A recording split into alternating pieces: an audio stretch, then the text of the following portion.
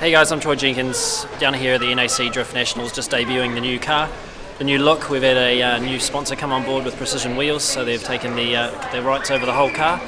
It's uh, myself and Ben as a team this year, so we've got two cars exactly the same, but um, down here just testing, seeing how we're going today. Got a few um, few little problems here and there, but hey, we've figured it out.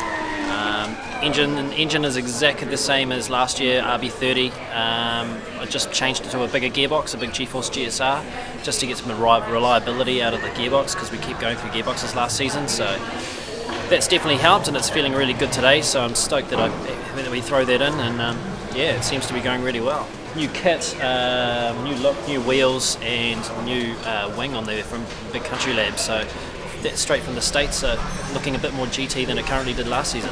We've got it there D1 in one week's time, so come down, check it out, check the car out.